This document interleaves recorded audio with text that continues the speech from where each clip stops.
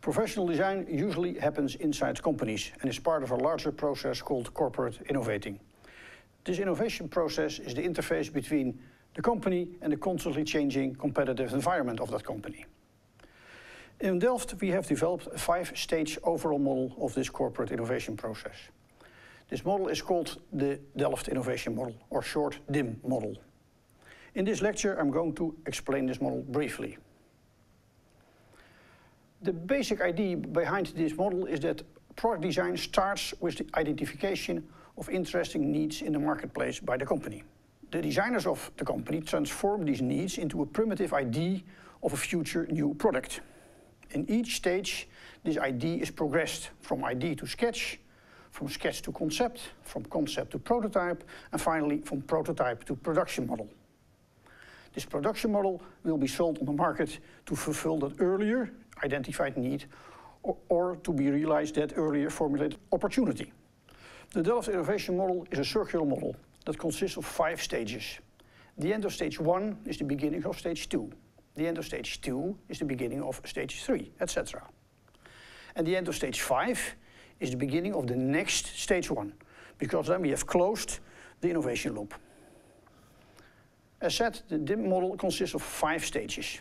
Product use, strategy formulation, design brief formulation, development, and market introduction. The ending block of each previous stage is the same as the starting block of the next stage. In the circular model, each stage shares this joint block. We define innovating as making leap-like changes in product market technology combinations by a company or a consortium of companies to gain sustainable competitive advantage. Therefore, the model co uh, covers three separate but intertwined spheres. The product sphere, the market sphere, and the technology sphere. The central sphere represents the evolution of the design towards a product on the market, from idea all the way to production model. The viewpoint of this product sphere is determined by the innovating company. The outer sphere represents the influence of the external competitive environment on the innovation process. The term market is used in a very broad way. It includes all external developments which could be of interest and influence for the innovating company. The inner sphere represents the role technology and other internal resources play for the innovation process. Again, also this sphere is seen as broad as possible. This includes, for instance, that a new technology comes available through the acquisition of a startup company. Each stage itself consists of a series of steps. The five stages are visual structured the same. All end with an evaluation and reflection step, in which is decided to jump over to the next stage, or if quality of the progress is too low, to redo this stage. This uh, stage. All stages start with a starting situation. As said before, this starting situation is equal to the end result of the previous stage.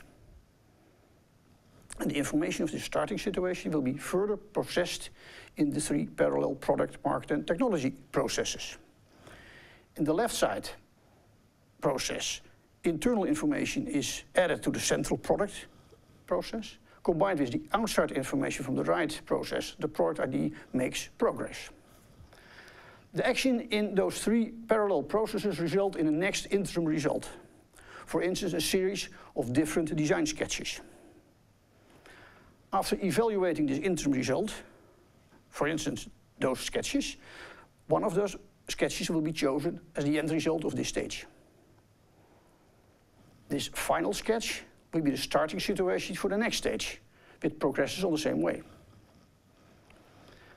Looking at all the stages, you see each time a divergent part followed with a convergent part.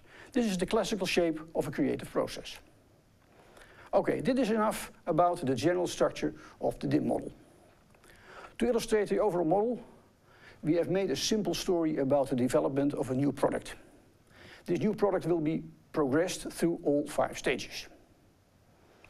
Our starting point for the corporate innovation process is that the competitive environment of every company, say Patterson's microbrewery in Copenhagen, Denmark, is full of products and services being sold and used by the targeted customers of that company. According to our model, this stage is called the product use stage. In Denmark, people love to drink beer. They have two large contenders, Carlsberg and Tuborg. Nowadays, they belong to one company, but in the market they are competing. Those two big companies offer standard tasted beers in large quantities at reasonable prices. You could say that is the present situation in Denmark. However, much more is happening out there. Danish people are not only drinking Danish beer, they drink sometimes Heineken from Holland or Budweiser from the US. Other people, or sometimes even the same people, drink not, not only beer, but they drink wine and water or coffee.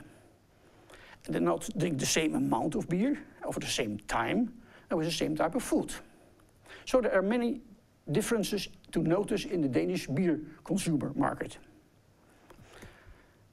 In this already full service drinking market, Small Peterson wants to introduce new tastes of microbrewed beers. All the big boys will use all their competitive power to prohibit Peterson to take his little part of the growing beer lake. So all innovations start when somebody notices some interesting changes in the marketplace, which sparks an idea of a new business opportunity.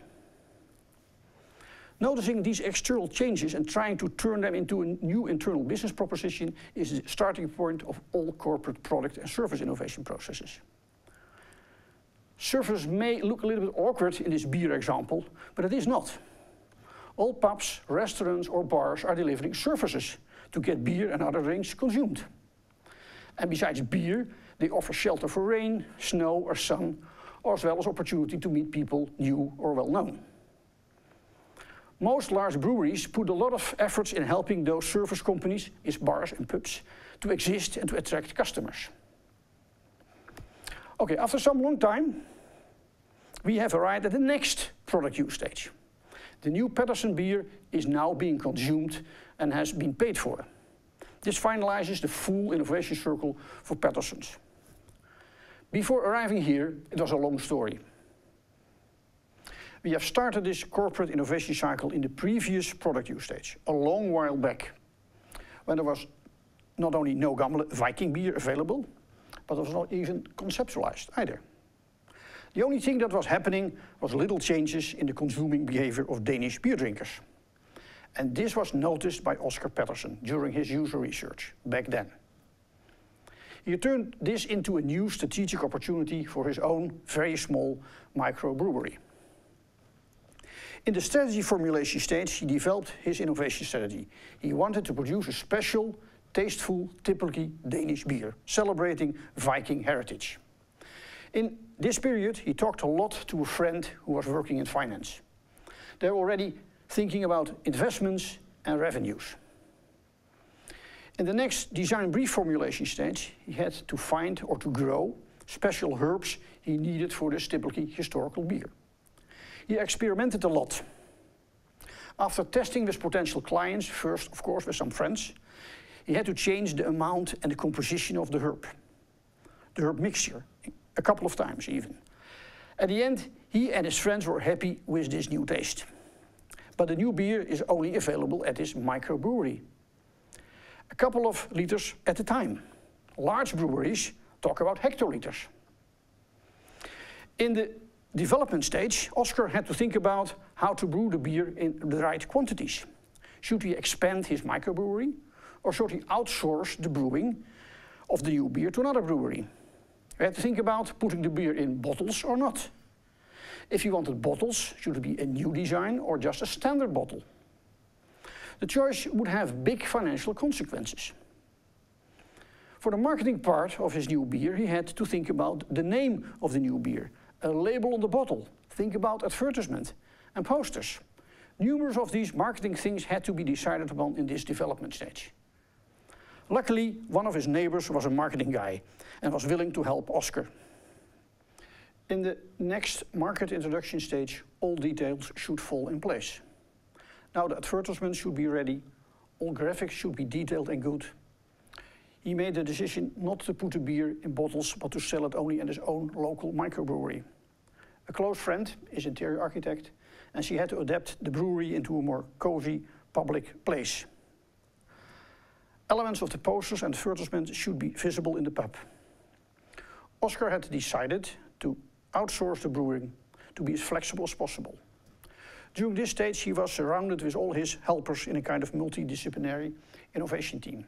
His financial friend, his marketing neighbor, two of his drinking mates, and the interior architect were not only testing the new beer, but they were also discussing evening after evening all the major subjects of this innovation process. For instance, for showing the authenticity of the new beer, they had suggested that Oscar should do a little of the brewing inside the pub, so people could really see that he was the originator brewer. And the herbs should be there. They made a brochure explaining the herbs and the special brewing process and other juicy details. Just before opening the pub, they made a late night decision on the name of the new beer, Gamle Viking, meaning Old Viking. Two years after the innovation process was started, Oscar opened his newly redesigned pub brewery and offered the Gamle Viking for sale. He had invited a popular band to play that evening. The rest is history. Now Gamle Viking is a very nice and tasteful addition to the Danish beer market. We are now in the next product use stage, use plus one stage. If you look from the time this uh, total innovation process was started, long time ago, we have really closed the innovation cycle. Hopefully this will remind us that all innovation process will never stop.